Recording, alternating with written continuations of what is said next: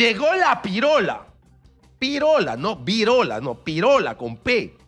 ¿Qué cosa es la pirola? Bueno, dicen que es una subvariante de COVID y está en Perú, ya, ya está en otros países. Y tiene una característica, eh, tiene una... mm, no es tan veloz en lo que corresponde contagio, es bastante lenta esta variante.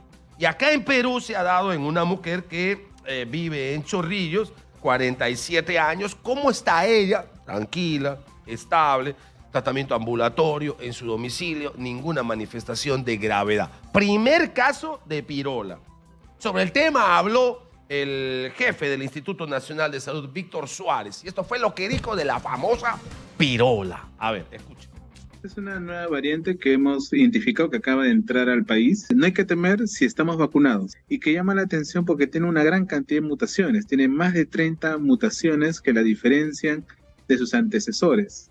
Entonces, eso inicialmente preocupó mucho a los científicos porque pensaban que podía tener una gran capacidad de evadir la respuesta inmune y de propagarse rápidamente. Sin embargo, esta variante que ya tiene más o menos dos a tres meses que fue identificada en el mundo, eh, no ha sucedido eso todavía. Bueno, está en Chorrillos, pirola, ¿eh? En el distrito, sí, acá, en Chorrillos. El primer caso se ha dado a una mujer de 47 años en Chorrillos, tranquila, estable, sin mayor complicación. Eh, se supone que habrá que hacerle seguimiento a esta pirola, ¿no? Una nueva variante del COVID-19.